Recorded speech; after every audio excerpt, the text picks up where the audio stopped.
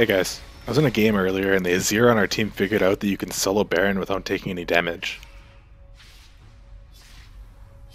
It seems like it would be a bug similar to when Azir could take out turrets outside of turret range. Hope this along with all the other Azir bugs get fixed kinda soon, because he's pretty broken right now.